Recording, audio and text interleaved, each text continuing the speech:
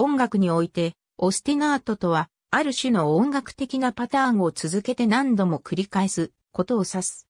オスティナートは、イタリア語で、頑固な、必要なという意味であり、英語のアブスティネットと語源を共にする。このため日本語では、必要音形、必要反復などと呼ぶことがある。オスティナートと呼ばれる音楽技法では少なくともある種のリズムパターンの反復が行われるが、最も典型的なオスティナート技法ではリズムのみでなく音程や和声も反復される場合が多い。特に低音及びその上の和声進行を特定のリズムパターンと共に反復するオスティナート技法、オスティナートバスオスティナートベース、バッソ・オスティナートバッソ・オスティナート、執拗低音などと呼ぶ。オスティナートバスの例は、バロック期の作品を中心に無数に見られる。リズムオスティナートの例としては、グスターブ・ホルストの組曲、惑星の第一曲、火星を挙げることができる。また、ある種の和音の反復を持っているものの、オスティナートバスとは異なり、これらの和音反復が火星的な機能を持たないものもあり、これらを和音オスティナート超ダルオスティナートと呼ぶこともある。和音オスティナートの例として、アントニオ・ソレールのファンダンゴや、フレデリック・ショパンの子守歌などを挙げることができる。バロック期などに見られる典型的なオスティナートバスの技法では、同じ低音主題が、鉄頭鉄尾繰り返し現れるのに対して、ある種の音楽的パターンを断続的に反復する場合も、オスティナートと呼ばれることがあり、このような観点に立つときは、オスティナート技法の指す範囲は極めて広いと言える。このような音楽的パターンを指して、オスティナート・オスティナートの語を用いた最初の知られている例は、アンジェロ・ベルナルディ・アンジェロ・バーナーディの1687年の著作 Documenti armonici に現れる contrappunto ostinato という表現であるとされる。同じような音楽的パターンをジョゼッフォ・ツァルリーノは pertinacie と呼んでいる。オスティナート技法の黄金時代はバロック期に訪れる。ルネサンス後期にはチャッコーナ、パッサカリア、フォリア、ルチエロ、パッサメッツォ、ベルガマスカなどのように決まったオスティナートバスに基づいて作曲や即興を行うことが爆発的に流行し、この流行はバロック期全体にわたって継続し、声楽曲、器楽曲、独奏曲などほとんどすべてのジャンルに及んだ。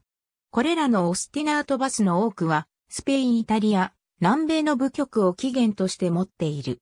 同時代のイギリスでは、鍵盤楽器やリュートのための作品を中心に、必要低音を用いた曲が作られたが、これらはグラウンドグラウンドと呼ばれ、その低音主題をグラウンドバスグラウンドベースとも呼ぶ。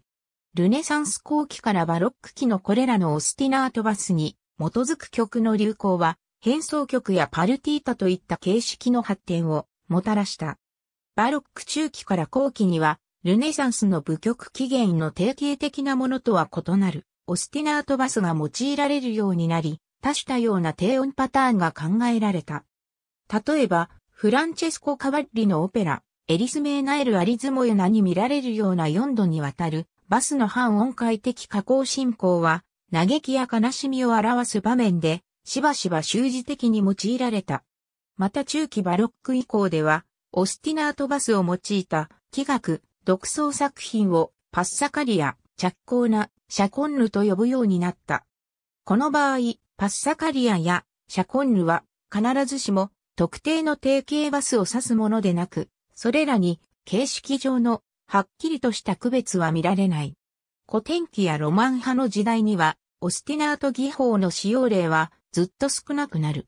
ベートーベンの交響曲第5番や第7番はその例外と言える。近代になると、オスティナート技法はしばしば用いられるようになる。モーリス・ラベルのボレロやそのパロディーであるドミートリー・ショスタコービチの交響曲第7番第1楽章の第2主題などは典型的である。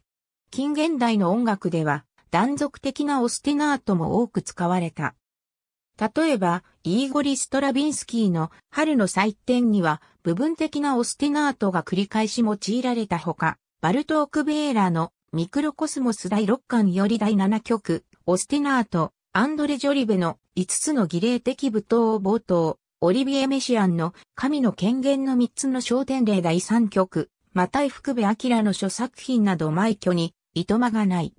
また、20世紀後半のミニマルミュージックも極端なオスティナートの一典型である。オスティナート技法は民族音楽やジャズ、ポピュラー音楽などにも幅広く現れている。ジャズにおけるブギウギやバンプ等は非常に典型的である。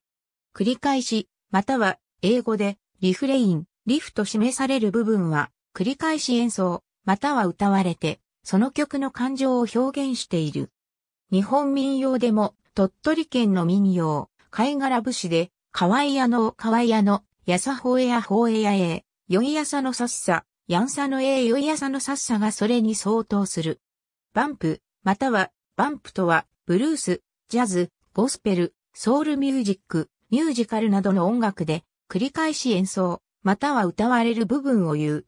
これは、ロック、ファンク、レゲエ、リズムブルース、ポップミュージック、カントリーミュージック、1960年代後のジャズでも使われる用語である。ありがとうございます。